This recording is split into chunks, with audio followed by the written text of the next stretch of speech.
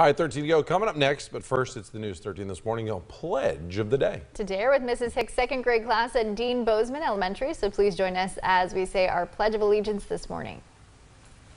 I pledge allegiance to the flag of the United States of America and to the republic for which it stands, one nation, under God, indivisible, with liberty and justice for all.